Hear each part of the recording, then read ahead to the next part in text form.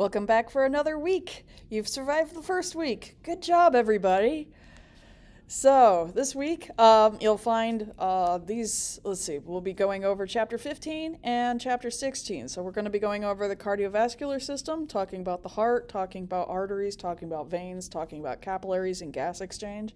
And then in chapter 16, just to give you a little bit of a preview, we're going to be talking about. Um, the lymphatic system. So, we're going to be talking about the immune system and how that works because the immune system pretty much likes to operate out of your lymphatic system and how the lymphatic system takes all the rest of the fluids in your body, the interstitial fluids, and pretty much rounds them up and dumps them back in the cardiovascular system. Because liquids are always going every which way in your body, and we try to control it as much as possible, but you know, nobody's perfect. So, right, Monty? Yes. I have no idea what you were talking so about. He's, he's been, he's been kind of chilling lately. So, anyway, with that said, oh yeah, remember your first exam opens this week, and you've pretty much got from now, which is Wednesday, hopefully you're watching it this Wednesday, the uh, 24th. If not, okay. Anyway, I don't know your schedules. Um, but that will close Tuesday at midnight. And remember, I gave you last week that drop down list of all those words. Those are all words from the, uh, uh, excuse me, from the, um, literally each question. So if you, I mean, those, those words are tailored, are literally from every single question in the test. So just to give you a heads up. Study that and you should be good to go. Um, if not let me know. And i also hopefully will be starting in on replying to a lot of the things going on in the forums. I've been reading it. I've been seeing it. Um, i've just been kind of busy here then and everywhere. And i should be jumping in hopefully i'm recording today uh, tuesday. So hopefully i'll be record uh, getting in this afternoon to check those things out. With that said let's jump on in shall we? All right. So the cardiovascular system. All right, so the heart is really just one big pump, and actually in humans, it's two pumps working in tandem in a bag. Because the last thing we want is for our two pumps to, well, leave. So we actually kind of lock it down in a bag, and we'll get to that in a minute. So, anyway, it's interesting where hearts come from. I mean, if you look at the, uh, and I kind of put this right here to kind of show you how hearts have changed and uh, over the uh, over the, the the many many millennia of life on Earth, actually more than that, uh, millennia, That is not a word, Mom. lots of lots of time. Anyway, so first thing we had, and you can see this in some insects, is literally just uh, the tunicate. It's just literally a single layer of contracting mesoderm that just goes blub blub blub just to push it around. And then we went up and actually tried to make something a little bit more complicated. And then in fish, we finally got our act together and started putting together a two chambered heart. So we actually had two dedicated areas to start pumping blood through the body. And then we took our wacky thing and we decided to why not check out a three chambered heart? And that's where amphibians, some fish, amphibians, and um, reptiles come what come into this. So, Monty, he has a three chambered heart. However, not everybody's heart is quite the same with those three chambers, and a three chambered heart is not terribly efficient. It works for Monty's needs, doesn't it, Monty? I guess? Yeah. Not that he's noticed, because he's still alive, and we're all good, so I guess it's working for him. Uh, but then it was around the time of basically when the birds, birds are like, hey, let's start working with a four chambered heart and a closed circulatory system. And the mammals really perfected it in the end, going to a four, uh, a four chambered heart. Because keep in mind, you go, oh, wait, we didn't come from birds. And I'm not saying that. We didn't come from birds. We're not even remotely, no. Um, it's interesting because what happened is that four chambered heart uh, evolved independent of each other, which is why birds' four chambered heart is actually not very good. Um, birds actually are known for just having have, uh, their hearts misfiring, and they've had random heart attacks and just drop dead out of the sky. Um, yay. you imagine flying around, minding your own business, actually having a very healthy uh, circulatory system, but suddenly your uh, heart misfires and you and fall out of the sky. Yeah, not cool. Anyway, so keep in mind the the four chambered heart evolved in two different directions um, out of the three chambered heart, and they just happened to go in that route. But the bird's version was not so hot, and the mammal version actually works insanely well.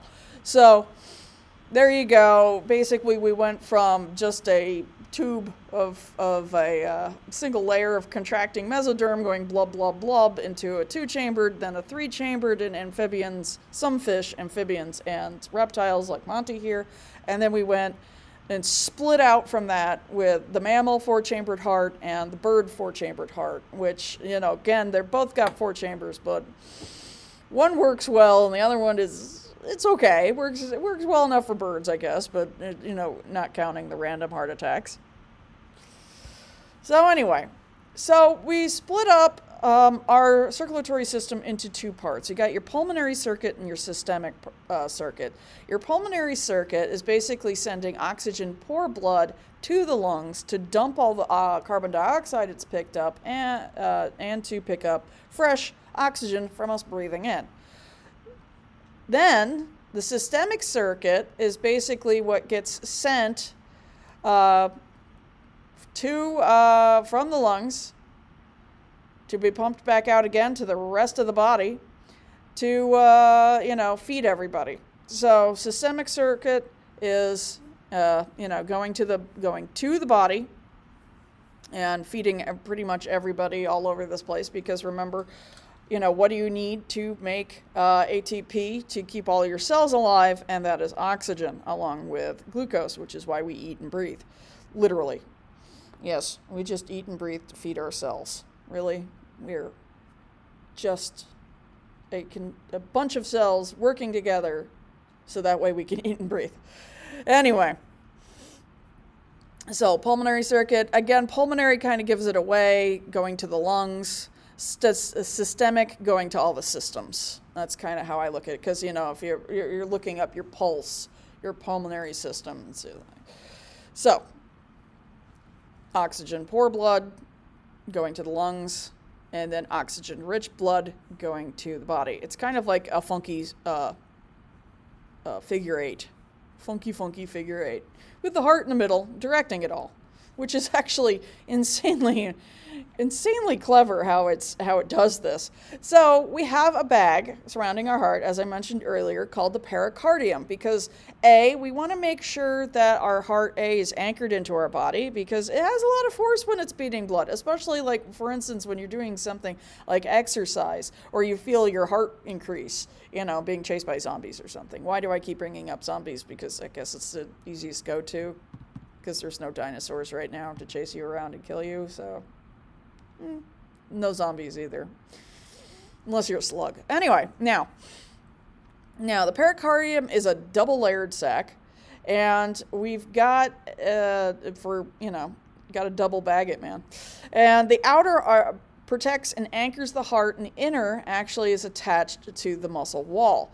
Now we have a again uh, pericardial fluid in between that actually makes these two uh, layers suck together and act as one. So not only is it you know double bagged for our protection and uh, its protection, but that double layer has the fluid in between to keep those two layers working perfectly together without any friction. Because the last thing you need is friction where your heart beats. Because I couldn't even imagine. Oh God, that would. Oh, that sounds painful. So that's what the pericardium is double layered uh, with a, a pericardial uh, cavity filled with pericardial uh, fluid to keep those two layers together, acting as one, protecting the heart, keeping it in place, and make sure it's not like, you know, hitting anything and rubbing on anything in your body because we do not need friction while the heart beats. Not cool. So again, if you look at it closer, we've got the pericardium and the myocardium. The myocardium would be the muscles. We'll talk about the myocardium in a minute. So anyway, you see the fibrous pericardium. We got the parietal layer of the serous pericardium. We got that pericardial cavity uh, filled with all the fluid. And then we got the epicardium, the visceral layer right here. It's attached to the myocardium. And then inside we have a layer called the endocardium and the heart chamber where all the blood's moving around. So that's called the heart wall is the epicardium, the pericard, uh, the myocardium, and the endocardium. So we'll talk about all this right here in just a second because all those muscles are very important and they're actually really neat. I also love looking at the uh, inside of heart. It's just, I find it beautiful. It looks like a whole bunch of trees, uh, roots grown together. Um, if you know this class wasn't completely online, I'd definitely invite you to come to my lab and I'd hand you um, a sheep heart. I have several to show to let you a explore it and check it out, and also to open it up and check out the inside of the heart chambers and how uh, the uh, everything's grown. I just think it's the prettiest thing. There's a couple of things I find in the body that just are just so cool looking, and that's this is definitely one of them. I just really enjoy how nature grows things sometimes. I also will get this weird about um, parts of the uh, kidneys too. Anyway, so anyway, so again, the heart needs blood. It's doing a ton of pumping to get the rest of the blood around. So he's one of the first ones that's fed off the lungs.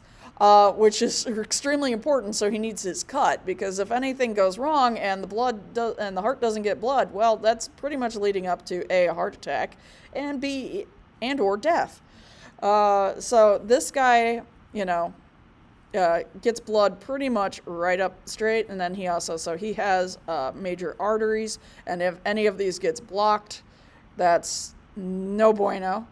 And then we've got uh, veins taking all the used away. So notice the heart is conveniently located in between the lungs.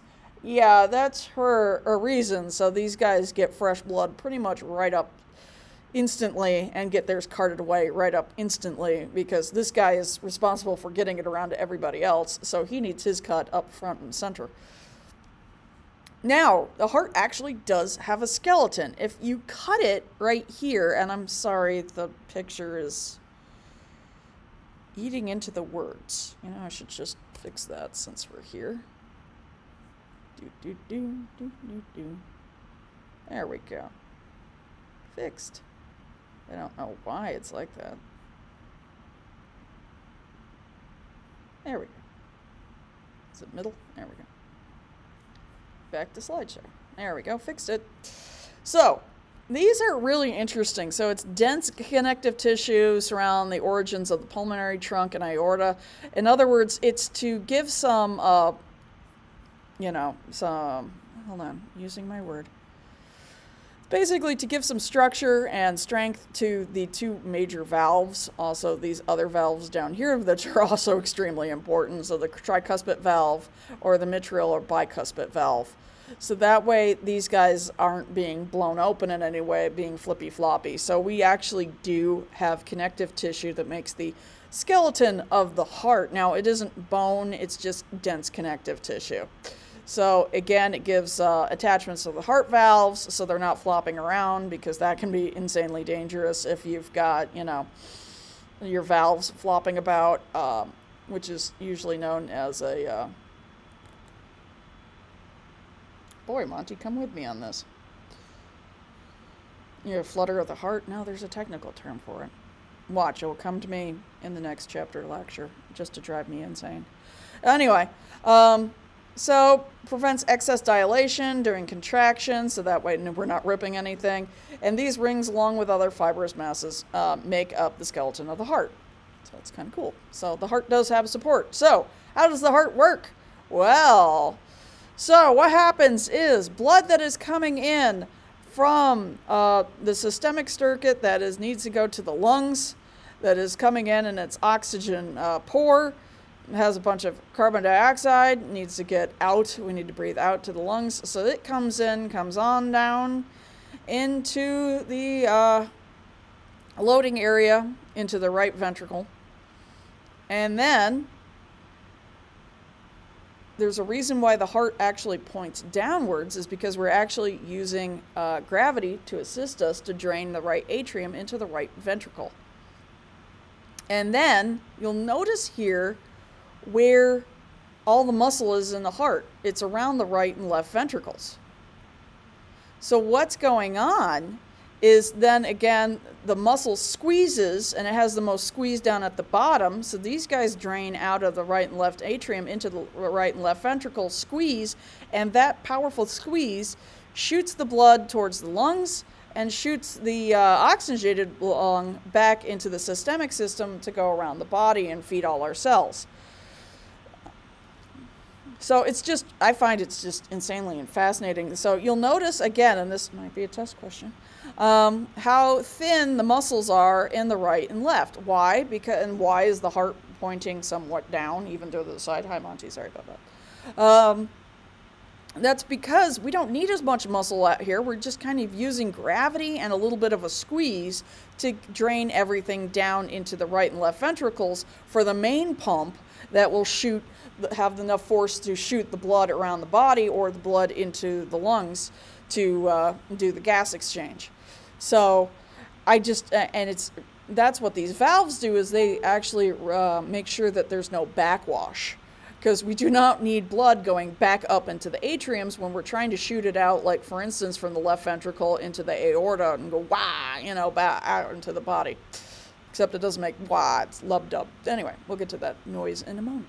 So just notice where the most of the muscle is in the heart. Also, another thing when talking with the heart is you know, animations like this are worth their weight in gold. It just it helps a lot, especially for me. I'm I'm kind of a visual kinesthetic learner myself, and uh, having showing this actually is insanely important. And you'll notice these things right here. These these are really fun, especially if I you know, if we could do a, you know a live dissection. These are really cool because these anchor the different parts of the uh, valves so that way, again, we don't get blowback. And um, because we want these valves to shut completely and not blow out the other opposite way or fall apart and go the other way. So we actually have these heartstrings to keep them in place, which is very nice.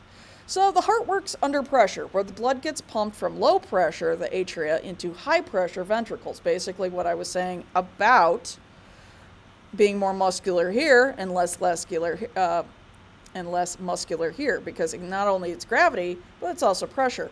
Low pressure to high pressure. And that's again why we want these valves to shut because we don't want it to accidentally, with all that pressure, shoot it back into the atrium.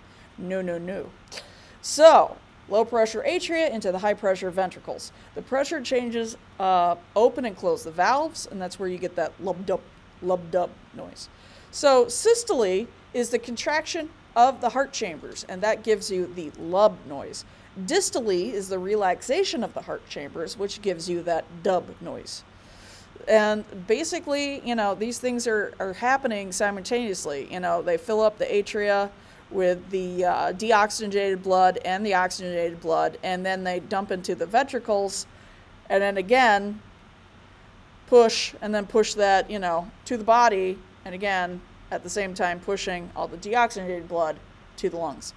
It's, it's just amazing how efficient it is. It really is. The heart is just an amazing organ. And it's, it's fascinating how we've, uh, we've finally come to make artificial hearts and things like that. Because, and you know, putting in, you know, heart valves and pacemakers and whatnot, because we've always had such a fascination with hearts in the human body. Now, the cardiac cycle. So during a cardiac cycle, the pressure in the heart chamber uh, chambers rise and fall.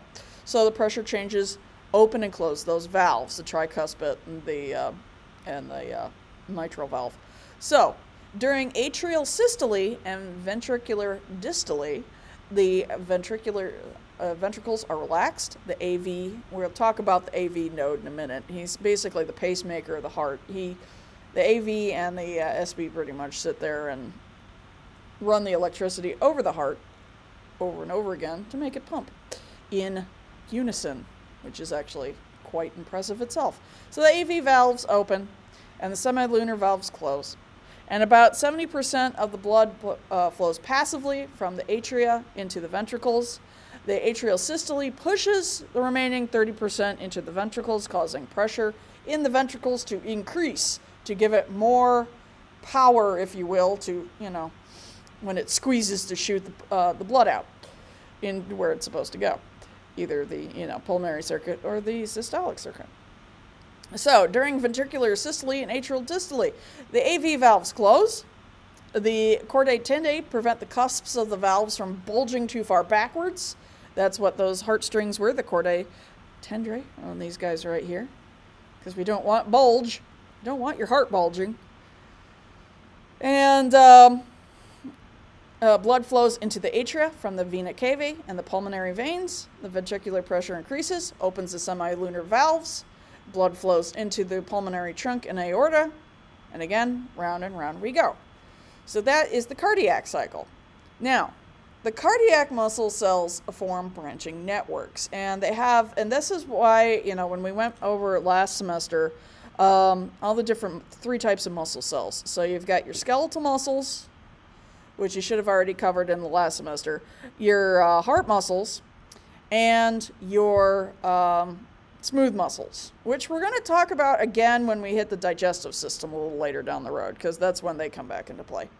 But these guys have those those discs. They have the striations, but they also have discs between these branching networks. And those intercalculated discs contain gap junctions. So if you remember what the gap junctions were, they're like little holes in between each of the cells. Uh, so that way things can flow faster through it. So action potentials can be spread through a network of cells. So imagine it, you know, like electricity going down and has all these open channels so that way it can go through, it can flow through, uh, flow faster. And because of this, they can act as a unit. And there's no pause, no wait, no nothing. It's like when, you know, the uh, AV needed says jump, the whole heart jumps. So cardiac muscles form a functional syncytium, which is a mass of merging cells that function as a unit. So these guys are extremely in tune with each other because of these branching networks, because of these intercalculated discs with those gap junctions that allow everything to work without interference of you know the cells you know having the cell uh, membranes get in the way of anything so two such masses exist in the heart we in the atrial walls we have the atrial syncytium and in the ventricular uh, ventricular walls we have the ventricular syncytium so how does this work well, you got the SA node, like I said, who's the pacemaker of the heart. So the cardiac uh, conduction system. So groups of clumps of strands of specialized cardiac muscle tissue, which initiates and distributes the impulses through the myocardium, coordinates the events of the cardiac cycle. So it's actually kind of neat. So you get your SA node right here. He's sitting on top of the right atrium. Remember, this is kind of more, it shows inside, but it's actually more like on top of. Uh, but we do the cutaway to kind of show you what's going on here. And again, here's the little heartstrings. So anyway, the SA node basically sends a signal and it jumps over all of this muscle right here to hit the AV node. And then the AV node then spreads down these um, uh, junctional fibers, splits into these uh, wait, no, junctional fibers are back here. AV node goes down to the AV bundle, which is right here. The bundle branches, and then you've got the Purkinje fibers, which are these like little like root-looking things coming off. And that's the ventricular syncytium, which makes this guy go. So this jumps, which makes these two squeeze. Then it hits the AV node to slow it down a tad because what we need, even though that jump is perfect, and it makes both the uh, right and left atrium squeeze, we need a bit of a pause. So that way we don't have squeeze, squeeze, it because that would be too fast. We've got to wait for these guys to fill and the valves to close completely before we do the squeeze. So this jump, setting these guys off, then it hits AV node, and then it hits that, you know, AV bundle, slows it down just enough to give enough time for the valves to close and the right ventricle to go, okay, now I squeeze. So there, that's why there's this jump right here. If you're wondering, well, why has it got the jump? Because we, and then it hits all these, you know, bundle branches and then the Purkinje fibers right here to uh, excite the uh, ventriculars to uh,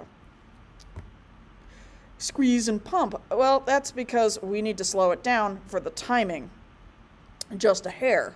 So that's why we have the SA node, which is the pacemaker of the heart, do the quick uh, do a quick jump to the AV node to set these guys off, but then it slows down just a hair and has to travel down these routes to tell this guy to go ahead and wait to fill up and squeeze.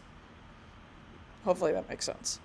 So that's why there's a there's a time pause between this. Now, so major components. So the SA or sinoatrial node pacemaker initiates rhythmic contractions of the heart. Internodal uh, atrial muscle conducts impulses from the SA node to the atria junctional fibers. This conducts impulses from the SA node to the AV node. That's what uh, basically what it's jumping over right here.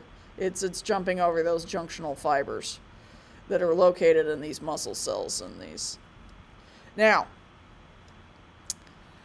the uh, AV or atrioventricular node basically conducts impulses to the AV bundle, delays the impulse, like I was saying, so that way that the atria can finish contracting before the ventricles go.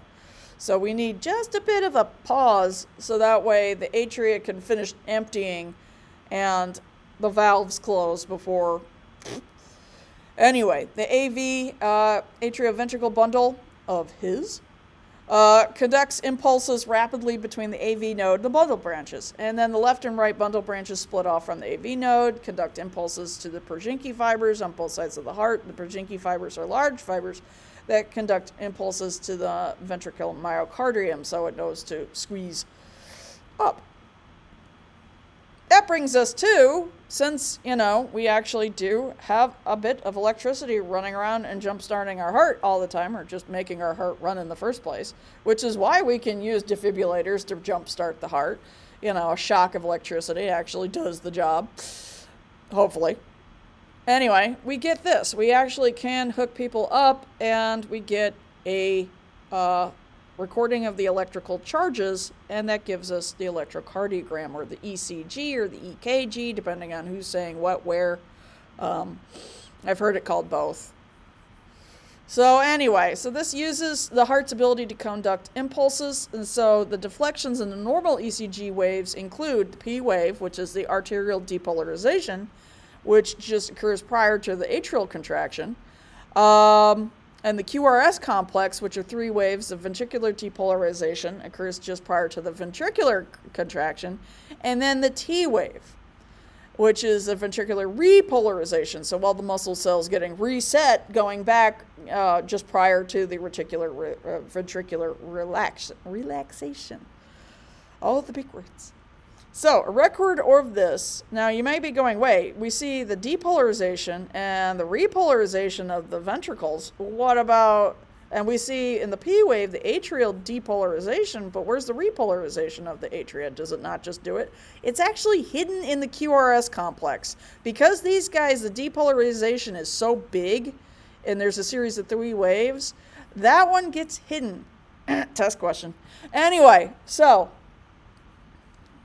so be careful of the atrial repolarization. It's kind of hidden in the QRS wave.